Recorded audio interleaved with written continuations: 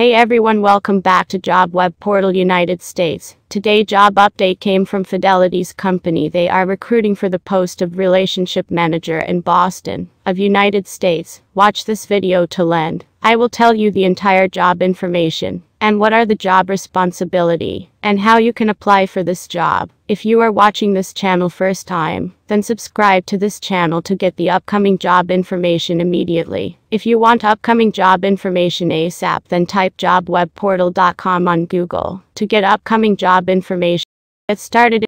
We talk about job responsibility. You are able to drive targeted appointments that improve engagement with clients. You give specialized service and standout experiences to your clients. You are sales focused and knowledgeable about financial planning. You are known for your excellent communication skills, both written and verbal. You have a vested interest in being an advocate for your clients you are professional with a polished communication style compatible with high net worth clientele. You are key to the fidelity relationship strategy you will have to deepening client relationships through long term mentorship. You will have to collaborate with the relationship manager team company wide. You are responsible for the client contact strategy. You will have to build long lasting meaningful relationships with clients if we talk about the qualification and experience you need to have a college degree is encouraged you need to have a 1 to 3 years in financial services with an emphasis in customer service you need to have a sales experience and knowledge of the financial markets and products you need to have a strong social skills and the ability to deliver highly personalized service to each client you need to have a thrive in a compliance driven dynamic, and deadline driven environment, you need to have an ability to think creatively and be comfortable.